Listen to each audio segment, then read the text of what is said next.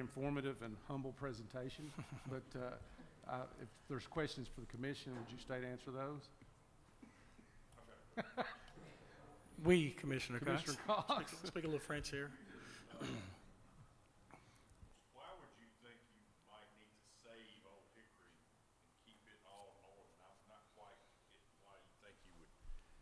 It's not one particular thing. It's, uh, it's a combination of, of all, of a lot of things. It's the, it's, it doesn't have the same habitat as the places we think have better habitat.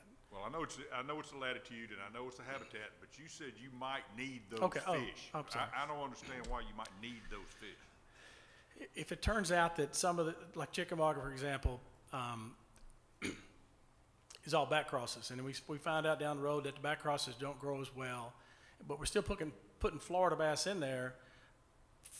As we've, we, as we've seen, the F1, the pure F1 Florida bass, which is a cross between a pure Florida and a pure Northern, does better than, than any of them. They do better than the, probably the back crosses. That's what the fishermen are catching we may be in a situation at Chickamauga where there are no more northern largemouth bass. We may have to stock northern largemouth bass in there too to, to provide some fish for the pure Floridas to breed with to get that pure Flor- that pure hybrid again.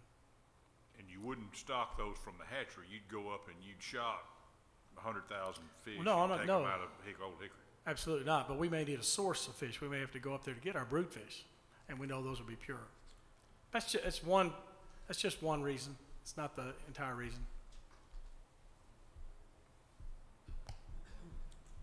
Bobby, there was one lake right above, uh, Gunner on your slide, and it was actually below the line. I was just wondering why you didn't include it. Is that uh, Pickwick? Oh, it was north of, I guess, Nickajack and Oh, north okay, of that's, uh, that's Tim's Ford Lake probably. Okay, Uh, Tim's Ford Lake is, we just don't feel like it has a habitat. It's a tributary reservoir. It has, they do have drawdowns. It's a, habitat's not there. It's a little bit different. the Type of Florida water bass quality. need, need more of a eutrophic lake with a lot of structure and habitat to. Right. That's what we're looking at. Okay. And Tim's Ford doesn't really meet that. Are there any other questions for Chief Wilson? And the commission? Uh, one more. What was that last dollar figure that we spent? No, no. Anglers, s- uh, Anglers spend, okay. yeah, anglers spent, It was a annual bi- basis. with a B, billion? Bi- uh, Yes, did I say million? It's billion, Yeah, yeah. wow. Any other questions?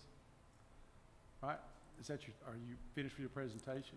Yeah, one, one thing we're, uh, we're gonna try to start this year, uh, by the way, we're, it's not something we're gonna put off for a couple years. We're gonna, like I said, we've made arrangements with, uh, at least a, arrangements on paper with, and, and by phone with Florida and, and Texas and Louisiana to get some fry. So if we can work everything out, uh, we will start stocking. And one thing I didn't say is that, um, there's possibility we won't get it- all the fingerlings that we need. And if we do that, we'll probably put them on a priority basis. We have yet to, to rank where we would, what a priority one would be, which lake would that be, a priority two and beyond. But we're gonna work on that. But that's, that's if everything, all the stars line up and we get all the fish we want and we get all the fish we need, that's kind of where we're going. And, and one other thing too, I mentioned the state park lakes. I've not talked, we've not talked with the state parks people yet.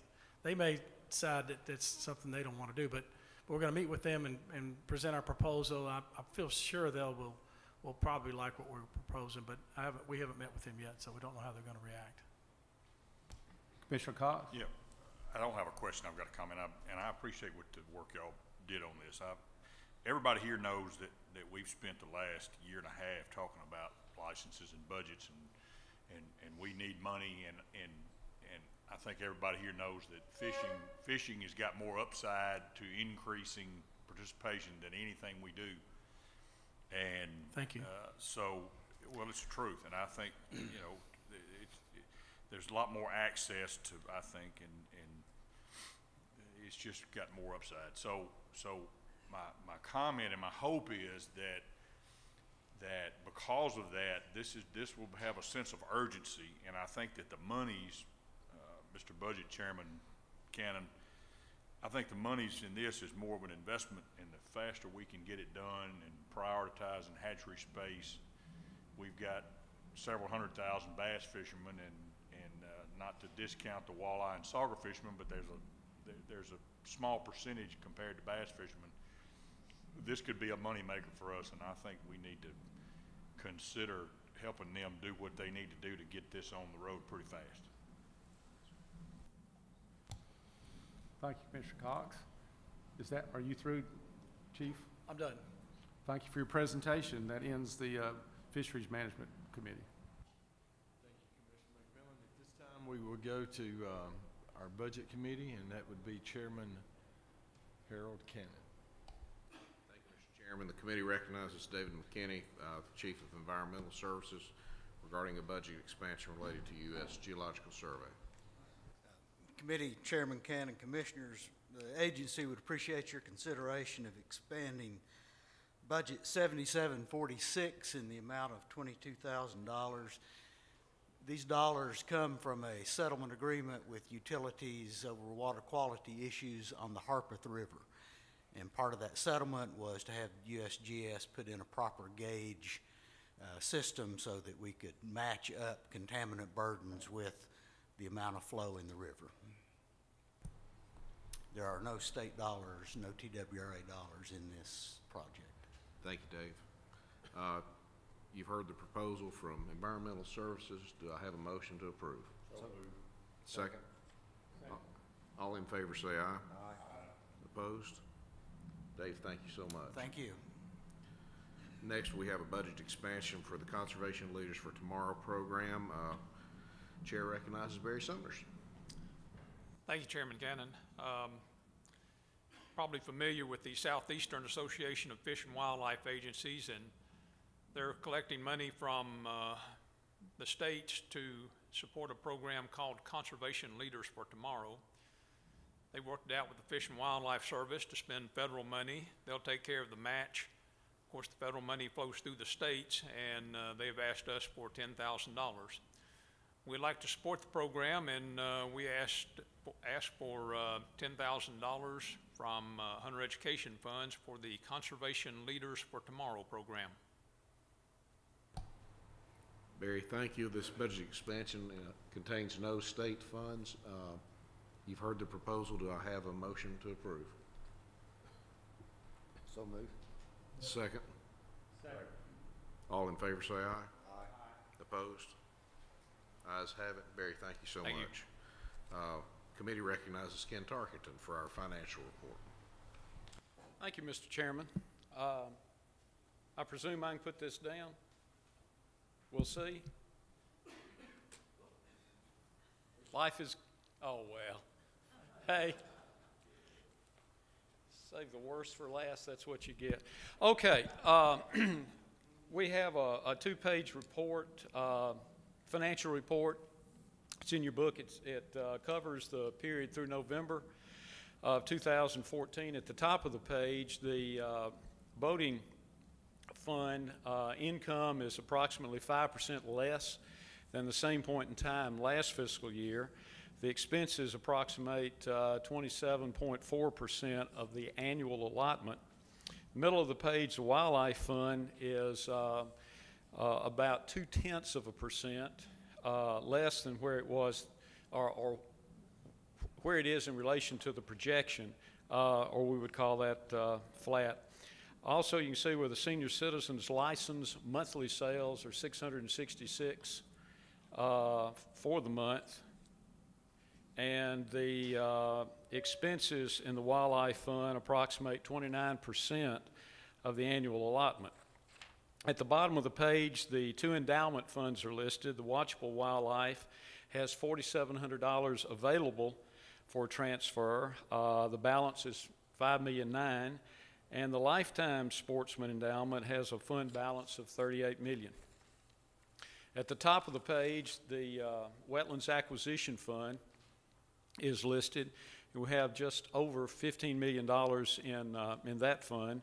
We've zeroed the maintenance um, of the uh, wetlands fund out in the middle of the page as we usually do, and the compensation, which is the in lieu of tax, has approximately 424,000 as a balance.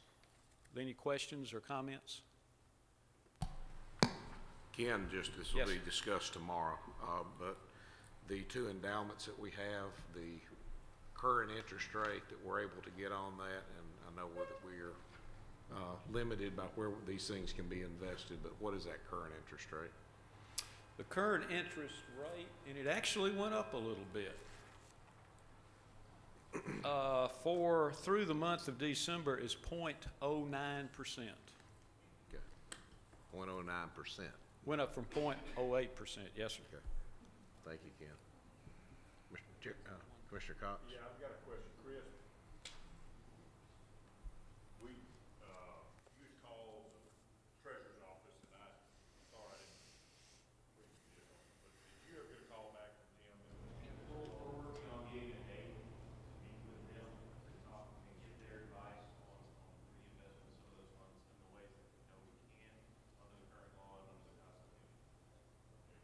Obviously, the longer we wait, the more, Mr. Chairman, I, I don't know whether we need to act to push that along, or what do you suggest how we proceed here? We've been,